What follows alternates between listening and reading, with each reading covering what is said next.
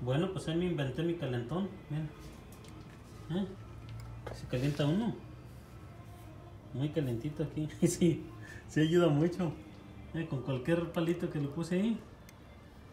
Ya se calienta uno las manos aquí, la cara, las narices.